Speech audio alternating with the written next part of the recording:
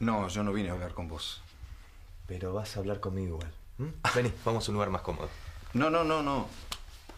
¿Podés venir que te conviene? ¿m? Haceme caso, pasa. Pasá, ponete cómodo. Sentate.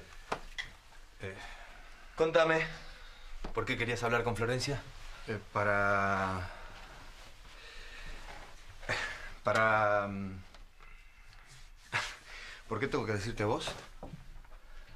Porque te conviene, te dije. Florencia es la mujer de mi primo y te conviene, por eso. Sentate. ¿m? ¿Con eso qué? Ya no María Cornuda, ¿no?